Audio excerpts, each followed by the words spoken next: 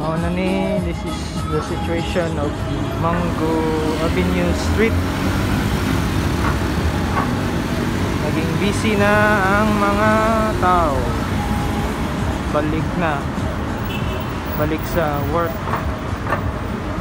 More.